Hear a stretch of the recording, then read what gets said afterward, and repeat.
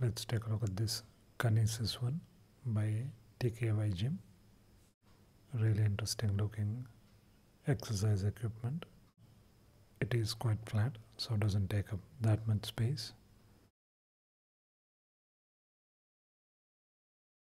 These are all the exercises you can uh, do on it.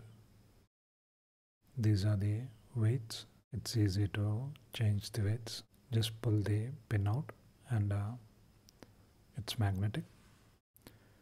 And you pull these uh, ropes to do your exercises.